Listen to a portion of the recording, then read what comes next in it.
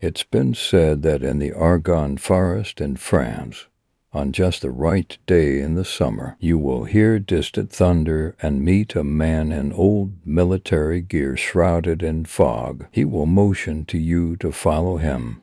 If you don't, your corpse will end up found in the forest. Cause of death apparent lacerations due to shrapnel wounds.